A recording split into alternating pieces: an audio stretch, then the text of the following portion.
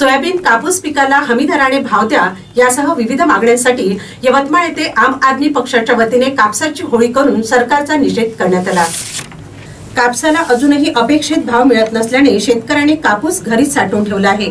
त्यामुळे कापूस दरवाढीच्या मागणीसाठी आम आदमी पक्षाने यवतमाळमध्ये कापसाची होळी करून आंदोलन केले आहे. माजी खासदार हरिभाऊ राठोड व भाई अमन यांच्या नेतृत्वात संविधान चौकामध्ये हे आंदोलन करण्यात आले. कापसाला प्रति क्विंटल पंधरा हजार रुपये भाव अपेक्षित असताना आठ हजारांवर दर स्थिरावले आहेत. उत्पादन खर्च बघता शेतकऱ्यांना हे दर न परवडणारे आहे.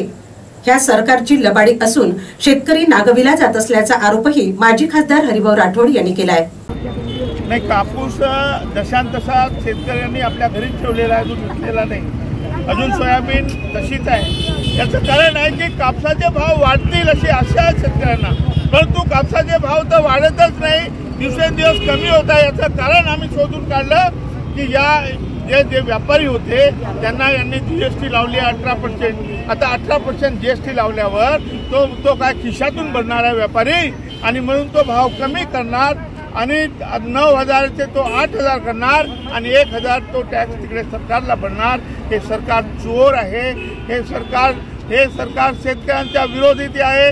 या आजपर्यंत संविधानामध्ये सुद्धा तरतूद नाही आहे शेतमालाला जे उपज आहे शेत शेतीचं उत्पन्नावर कुठल्याही प्रकारचं टॅक्स आयकर किंवा कुठे लागत नाही हे संविधानाने लागू लाग- लागू शकत नाही. अशा परिस्थितीमध्ये सरकारने हे जे कारकट कारस्थान केलेलं आहे त्याच्या निषेधार्थ आम्ही उतरलो आहे. विम्याचे पैसे मिळाले नाही अजून. जे जाहीर झाले तुम्ही नुकसान भरपाई आम्हाला दिलेली नाही. आणि सरकारने आमची कर्जमाफी पूर्ण केलेली नाही. सरकार उलट आमचे जे शेतामध्ये गहू उभा आहे त्याला पाणी द्यायचं ते सोडून आणि इलेक्ट्रिकचे लाईन कापत आहे. निषेध करतो मी या सरकारचा आणि या सरकारला दाखवून देऊ. ज्यावेळेस ही निवडणूक होईल ना त्यावेळेस हा जो आम आदमी आहे हा आम शेतकरी आहे शेतमजूर आहे या महाराष्ट्रातला आम्ही इथून जागू आणि हे लोन पूर्ण देशामध्ये आम आदमी घेऊन जाईल. आम आदमी पार्टीचा कापसाला भाव दिलं पाहिजे सोयाबीनला भाव दिलं पाहिजे हे आमची मागणी आहे.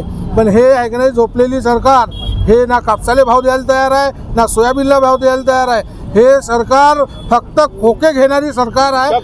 एकदम नंबर वन खोके घेऊन राहिली. आणि सगळं ओके करून राहिली. अशी हे सरकार आहे. आमची हे मागणी आहे कास्तकाराची ही मागणी पूर्ण न झाल्यावर आम्ही तीव्र आंदोलन करू. आम्ही काहीही करू शकतो आंदो शेतकरीसाठी. समोरचा पुढचा भाव काय असन हे आम्ही आता सांगू शकत नाही. का- काही असू शकते याची नोंद घ्यावी.